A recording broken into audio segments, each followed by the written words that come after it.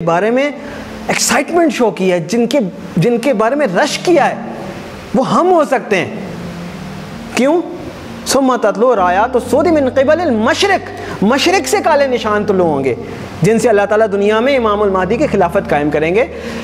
फबाहबन सल्लज, कि अगर तुम्हें बर्फ़, साहबा को फरमा रहे हैं अल्लाह ताला, इमेजिन करें। अल्लाहु अल्लाहु अल्लाहु, अल्लाह।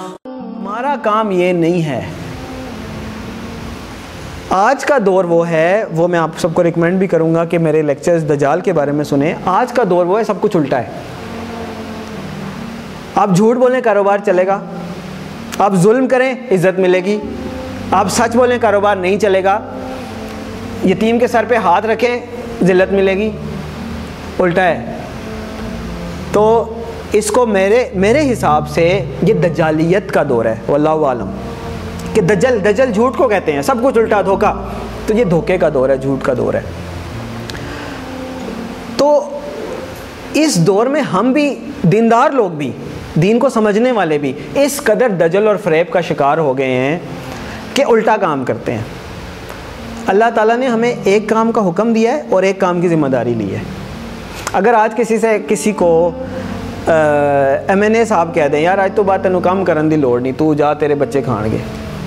कोई वडेरा कह दे, कोई एम एन ए साहब कह दें, या कोई कारोबारी बंदा कह दे, जा याशी महाराज तो बात तू काम ना करें।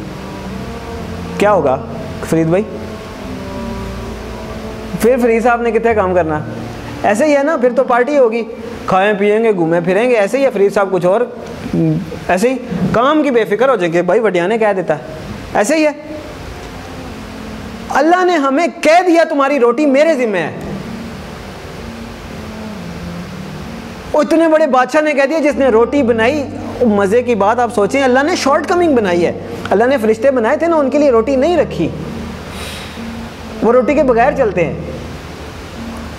शॉर्ट कमिंग देखें, अल्लाह ने फरिश्ते बनाए, उनके लिए गाड़ी नहीं रखी, ऐसे ही चलते जाते हैं ऊपर। अल्लाह शॉर्ट कमिंग का भी क्रिएटर है। समझें?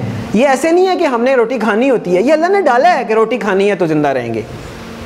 बीमार होंगे। ये अल्लाह ने डाला है, ये बनाया है, अल्लाह की क्रिएशन है ये। तो रोटी का अल्लाह ने वादा कर दिया, सारा निज़ाम उसने बनाया है। फ़सलें उसकी, कानात उसकी, रोटी उसकी, पानी उसका, बादल उसके, बारिश उसकी, हवाएँ उसकी, फ़सलें उसकी, बिल्डिंगें उसकी, बच्चे उसके, बड़े उसके, सब उसका। उसने कहा है कि व तो इज़्ज़ु मंतशाओ व तो ज़िल्ल मंतशाओ व तर्ज़ को मई यशाओ बग़ैर हिसाब। कि अल्लाह जिसको चाहता है इज़्ज़त देता है, जिसको चाहता है ज़िल्लत देता है और जिसको चाहता है रिज़ देता है बेहिसाब। वल्लाह खैर फिर अल्लाह ने फिर कहा कि अल्लाह बेहतरीन रिज़ देने वाला है, लेकिन एक जगह पे अल्लाह ताला ने सीधा कहा है, सीधा, कि रोटी के पीछे नहीं भागना। अब वो मैं बताता हूँ तो लोग फिर कहते हैं कि आप क्या कहते हैं, जॉब छोड़ दें, काम ना करें कोई। और नहीं भाई, वो बात को समझें, पकड़ लिया करें, कि अल्लाह ताला ने एक जगह पे सीधा कहा है कि वला तख्तलु औलादकुम खशियता इमलाक। नहनु रज़कना हम ख़त्म बात। अल्लाह कहते हैं, अपनी औलादों को इसलिए ना कत्ल कर दो, या इसलिए ना ज़ोर ज़बरदस्ती करो कि पढ़ नहीं तक खाओगे कितों। पढ़ना भी ज़रूरी है, लेकिन बिल्कुल ही उसको दफन नहीं कर देना ना जीते जी। तो जैसे पहले के दौर में वो करते थे लिटरली उसको कबर में दफना देते थे, मट्टी में डाल देते थे। तो खैर, ये आउट ऑफ़ डिस्कशन है, बाद में कभी बात करेंगे। लेकिन अल्लाह ताला बंदे से कह रहा है कि अपनी औलाद की तुमने बेसिकली बात ये हो रही है कि रोटी पानी की फ़िक्र नहीं करनी। नहनु रज़क ना हम वैयाकुम तुम्हारी औलाद को अल्लाह कह रहा है, रोटी हम देते हैं और तुम्हें भी हम देते हैं। तुमने क्या समझा तुम अपनी औलाद को रोटी खिलाते हो। कहीं बंदा मुझे कोई निकाल के दिखा दे कुरान हदीस में जहाँ पे कहा गया हो कि रोटी के लिए कोशिश करो कोई निकाल दे मुझे। वल्लाह आलम मुझे नहीं मिला। एक जगह मिला है कि कोई बंदा आप से मांगने के लिए आया तो आप ने फरमाया कि कुल्हाड़ा ले लो और जाओ लकड़ियाँ से काट के आ, अपनी रोज़ी कमाओ। मांगने से ये बेहतर है कि मजदूरी करो। ये कुरान में भी है कि इज़ानूदियासलाती मैं योम जुमाती फ़साऊ इला ज़िक्र वज़रुलबई ज़ालिकुम खैरुल्लकुम इनकुन तालमून।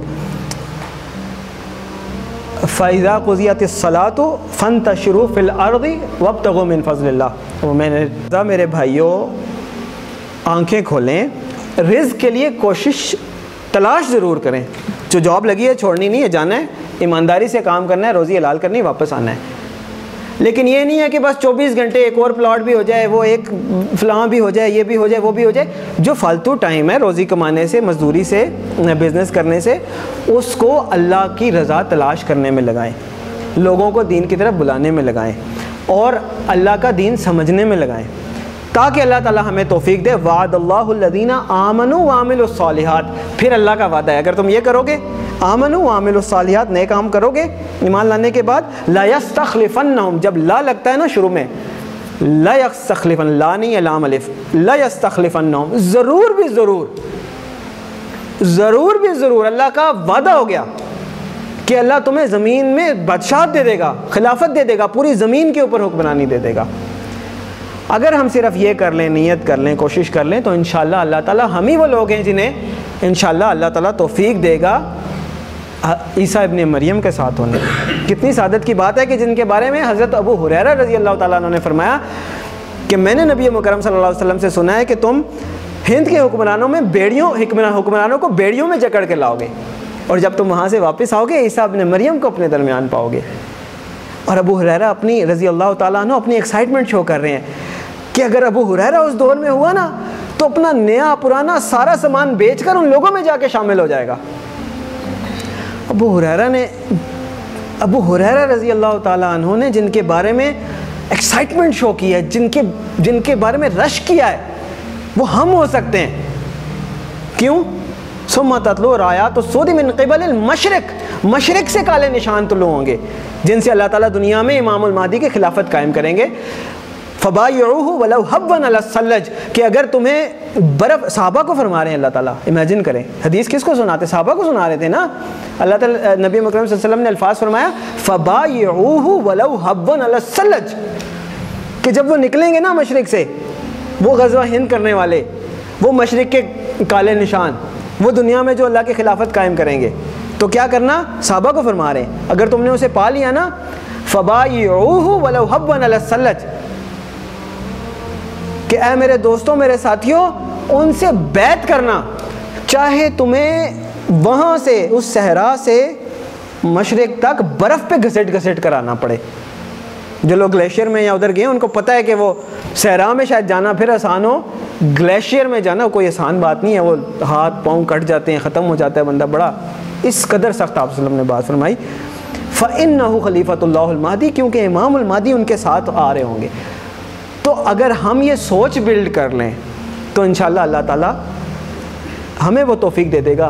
हमारे बाद किसी को देनी हुई, देखें, हमने तो अपने इल्म, अपनी समझ के मुताबिक काम करने हैं। हमारे बाद अल्लाह ताला ने किसी को तोफ़ी देनी हुई तो अल्लाह ताला उसे ले लेगा, लेकिन हमें हमारा अजर मिल जाएगा इन अल्लाह ताला हमें नेक काम में कबूल फरमाए और हमें अपने मकसद तख्लीक को समझने की तोफ़ी अता फ़रमाए। और हमने जो लाइट लिया हुआ है ना ईजी लिया हुआ है, कोई मसला नहीं है। तो अल्लाह माफ़ करे, जब हमारी आँखें बंद होंगी, फिर पता चलेगा, अल्लाह कहेगा, मैंने तो तुम्हें ये कुरान में लिखा हुआ था ना कि छुपाया तो नहीं था ना? कुछ छुपाया तो नहीं है ना अल्लाह ने कि पता नहीं इतनी बड़ी अमानत है तो अल्लाह ने कहा कि इसको पता ना चले। नहीं। साफ़ साफ़ खोल के अल्लाह ताला ने कुरान में बता दिया। वो हर किसी के पास है कुरान। पाक आपकी जेब में मोबाइल है, हर एक के पास ऐप भी होगी। पहले तो घर छोड़ के आते थे ना, अब तो कुरान जेब में होता है। तो फिर अल्लाह को जवाब देना पड़ेगा, लिहाजा अपनी सोच बिल्ड कर लें, अपनी आँखें खोल लें। काम इंशाल्लाह, अल्लाह ले लेगा, कोई मसला नहीं है, नीयत होनी चाहिए। इन बिन नियत